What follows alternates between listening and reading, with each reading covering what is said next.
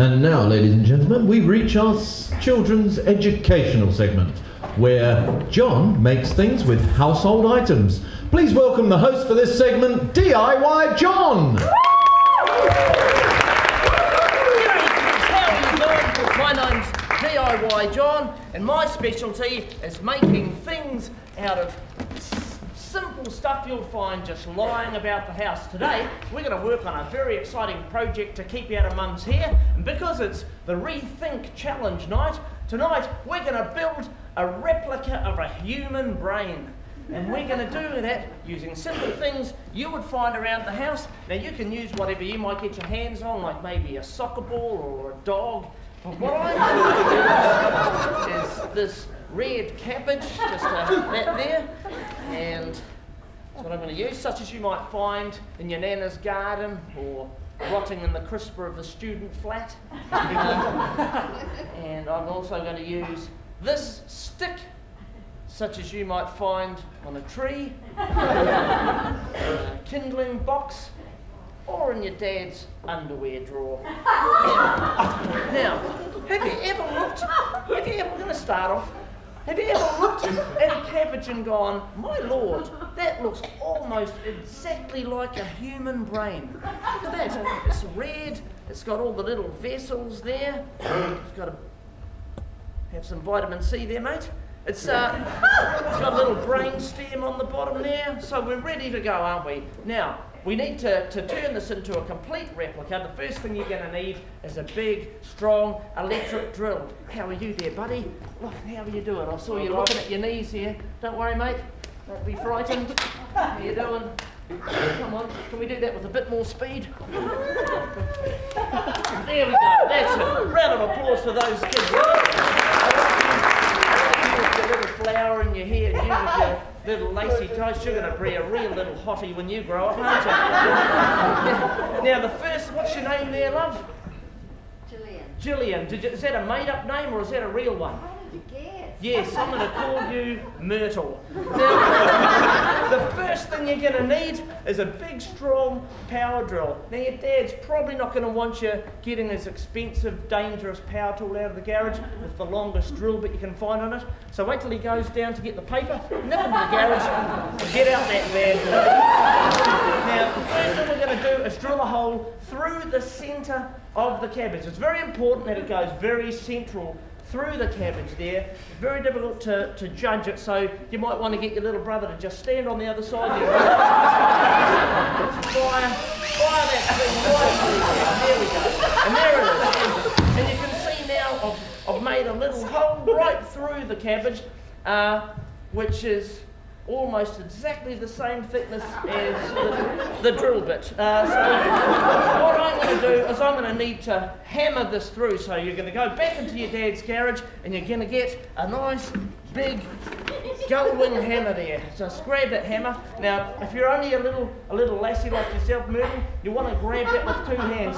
So get a mate to hold on the stick there and just grab that and hold that stick, Myrtle, and just hammer that in, just right through. Just hold that stick nice and erect.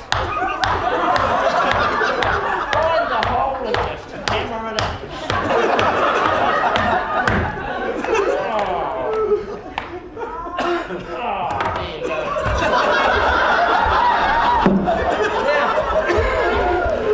see we've got a one hemisphere brain there. We want a two hemisphere brain. So the next thing you do, Myrtle, is you're going to go into Mum's kitchen and you're going to get her biggest, sharpest cleaver there. And now, once again, Mum's not going to want you using her sharp kitchen implements. So probably best that you do it in a darkened room so she can't see you and just smash that in there. Just make a nice line through there.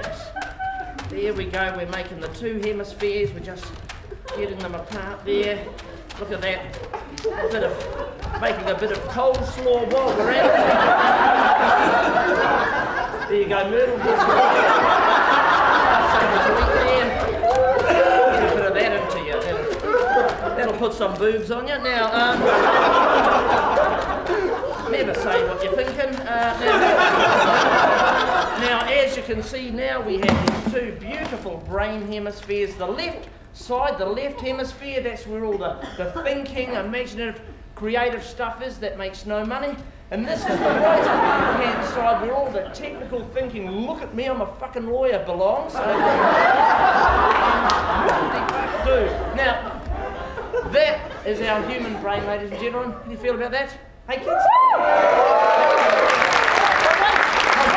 No, I've tricked you because we're not building a human brain. What we're actually building is a yo-yo, and that's look at that beautiful yo-yo. Now, the one thing we're going to need get rid of that. Someone else clean that up. The one thing that we're going to need to make a yo-yo is a string. Now, what I often do is I'll just go to my mum's undies drawer, pull out a nice balloon and a piece of a nice pair of tights there, straight out of the panty drawer. It's a little tip I picked up off Target. they don't so much use it for a yo-yo string as a dust mask, do they? But it's another, another oh, know, that's shocking, isn't it, Myrtle? There we go, we'll just wind that string around there and look at our beautiful yo-yo. Now, of course, the proof of the construction of our yo-yo is on the testing. if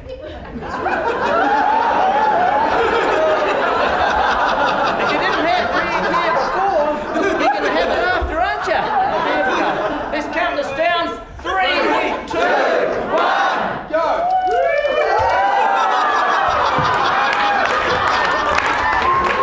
Why would you not just throw the other half of my brain up there, please? Put it up. Oh, round of applause.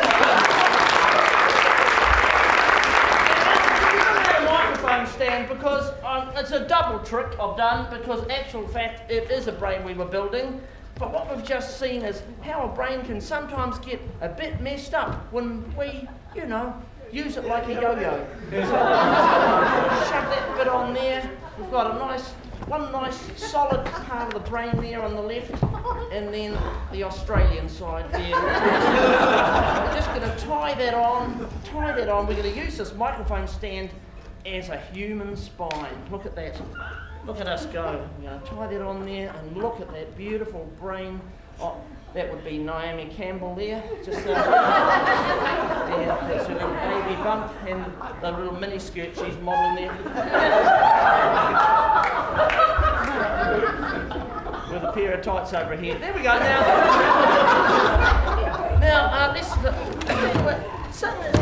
Sometimes the human brain doesn't operate quite how it should, does it? But the thing is, it's not really the human brain. The human brain is very complex, isn't it? It's not really the brain that really is the thing that we could judge someone on, is it? I think it's the heart. A heart is a much simpler thing, you know? And when we have a heart, we can fill it full of understanding and love, can't we? And it can be a useful, beautiful thing. I'm, I'm going to actually build a, a, heart out of this balloon, and I'm going to I'm to make it a nice yellow heart full of sunshine and love. And I want you all just to think of somebody that needs a bit of love in their life, a little bit of understanding, or somebody that's maybe shown you a bit of love, so you can get those feelings inside yourself. And I'm going to blow these into this balloon, and let's see how quickly we can make a, make a, a heart. You ready? You ready? Uh, go. Done. and that's how quick it is, ladies and gentlemen. It doesn't take a lot. So now we're just to put Naomi's heart in place. God knows she can do with it. And uh, there we no, there we go. There's Naomi's little heart. Look at her. Bless her little soul. There you are, kids. So there's uh, whatever you'd like to call this now. Important after any project to clean up. I'll put the tools in the box. There you go. Thank you very much, kids.